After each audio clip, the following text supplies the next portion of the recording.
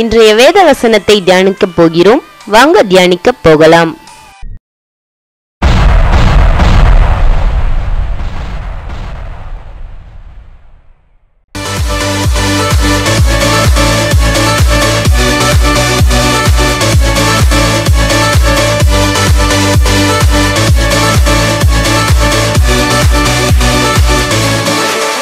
Audio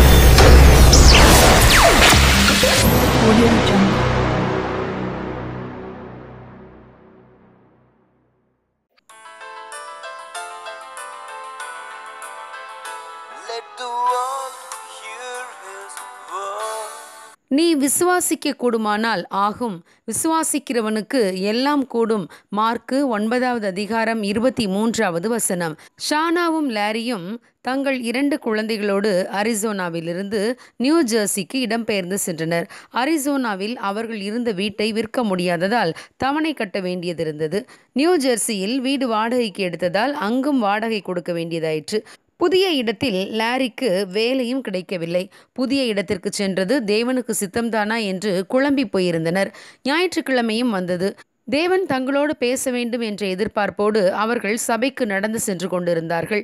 தேவனே நீர் எங்களை பராமரிப்பீர் எங்களை பாதுகாப்பீர் என்ற நிச்சயத்தை தாரும் என்று அவர்கள் மனதிலே ஜெபித்து கொண்டே சென்றார்கள். அப்பொழுது சபையின் ஒளிநாடாவிலிருந்து பாடல் பாடும் சத்தம் கேட்டது. தேவன் உன்னை விசாரிப்பார் அவர் உன்னை காத்துக்கொள்வார். ஒவ்வொரு நாளும் உன் வாழ்க்கை முழுவதும் என்பதாய் அந்த பாடல் வரிகள் இருந்தன. அதை கேட்டதும் அவர்களுக்கு நம்பிக்கை வந்துவிட்டது. தேவன் அவர்கள் வாழ்க்கையில் கிரியை செய்ய ஆரம்பித்தார். அரிசோனாவில் அவர்களுடைய வீடு விற்கப்பட்டது. லாரிக்கு நியூ ஜெர்சியில் ஒரு நல்ல கம்பெனியில் வேலை கிடைத்தது. அவர்கள் இருந்த வீட்டை விலைக்கு வாங்க தேவன் உதவி செய்தார். நாம் தரிசித்து நடவாமல் தேவன் மேல் உள்ள விசுவாசத்தால் நடக்கிறோம் என்று அன்று அவர்கள் அறிந்து கொண்டனர். ஆம் பிரியமானவர்களே உங்கள் வாழ்க்கையை நீங்கள் தேவனுடைய கரத்தில் ஒப்பு கொடுக்கும்போது தேவன் உங்களை பொறுப்படுத்திக் கொள்வார் வழியே இல்லாத இடங்களில் பாதை காட்டுவார். அடைக்கப்பட்ட வழிகள் திறக்கப்படும். உங்களுக்காக தேவன் உண்டு பண்ணி வைத்திருக்கின்றவைகளை கண்கள் காணவும் இல்லை செவிகள் கேட்கவில்லை எந்த இருதயத்திலும் தோன்றவும் இல்லை. தேவன் மீது அசைக்க முடியாத விசுவாசம் மட்டும் இருந்தால் இந்த உலகத்தையே நாம் ஜெயித்து விடலாம். ரூத் என்ற இளம் விதவை மோவாப் தேசத்திலிருந்து தன் மாமியாகிய நகோமியோடு சேர்ந்து பெத்லஹேமுக்கு வந்தார்கள்.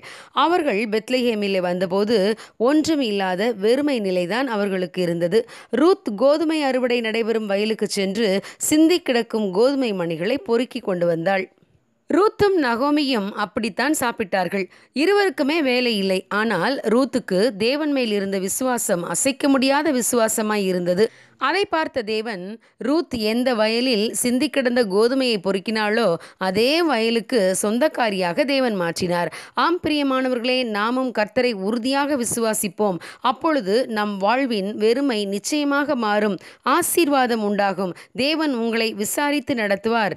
God bless you. Have a good day.